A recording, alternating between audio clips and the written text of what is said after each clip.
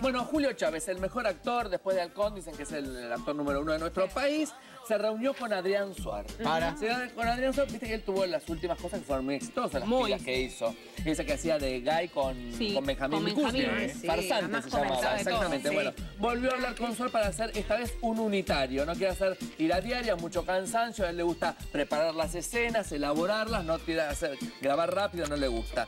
Ah, En este nuevo trabajo, señora, va a interpretar a un asesino serial Ay, ya, que se bueno. guía por los astros. Dice, a ver, Tauro, ¿qué va a pasar en Tauro? Bueno, matamos a la de Tauro.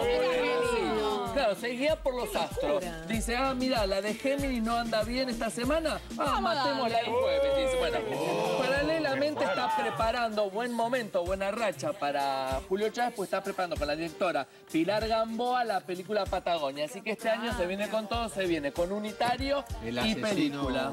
El asesino- El asesino ¿cómo se serial es un unitario.